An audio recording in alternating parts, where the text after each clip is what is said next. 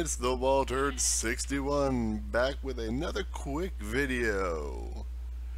So, at certain times in everybody's Minecraft career, we find a need to be able to see through the ground. Maybe you're making a mob spawner and you need to make sure that all of the caves in the area have been lit up. Maybe you're looking for a mineshaft. Maybe trying to locate a stronghold. Maybe you're just curious and want to look around. Who might I to judge? Well, there's a couple different methods out there and everything like that, but the one that I see posted around the most involves taking redstone to force pistons to push objects into your head, and that's just overly complicated and not necessary. There's a much, much simpler way to do it, and you can do it pretty much, I would say, second or third day. You'd have enough resources to take care of this.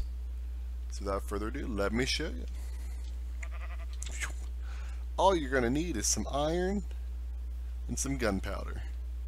What you do is you dig yourself down two or three blocks and then dig out a little little cubby hole here, too high put down one piece of rail on the ground, then either take some TNT or glowstone, we're going to use TNT, put it right above the rail.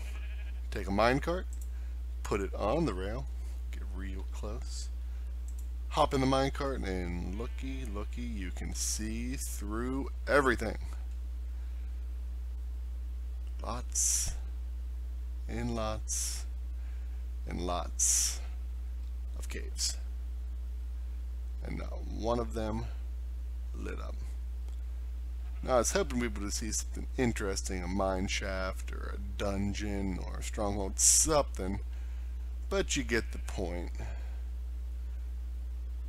Also, you can take any kind of block while you're in here, turn around, and throw it right there, and it gives you a little bit more view back there. So that's about all there is to it. It's really simple.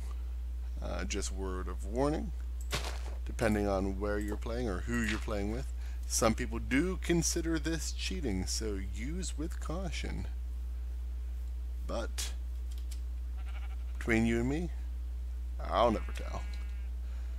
Alright, well until next time, have fun, and bye-bye.